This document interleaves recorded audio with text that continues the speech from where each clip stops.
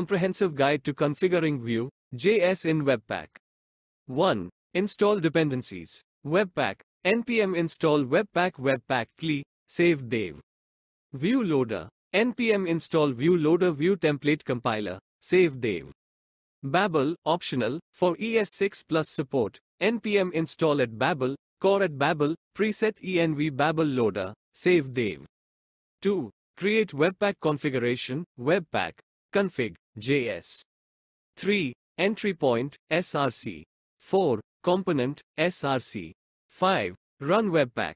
Key points. Vue Loader. Handles single file Vue components with link to .vue extensions.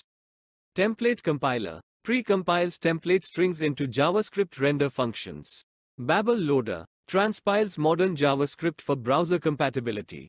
Customization. Adjust configuration for features like hot module replacement, code splitting, and more. Additional considerations. Vue CLI. Consider using Vue CLI for streamlined project setup and Webpack configuration.